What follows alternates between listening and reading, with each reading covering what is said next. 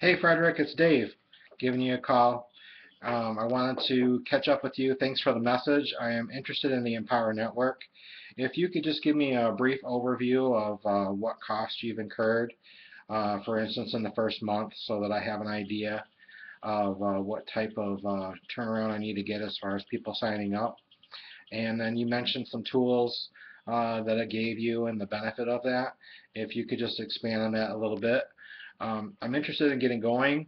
Uh, my problem is I get interested in a lot of things, and I just want to make sure that I'll be able to um, uh, make money, at least to recover what i am going to invest.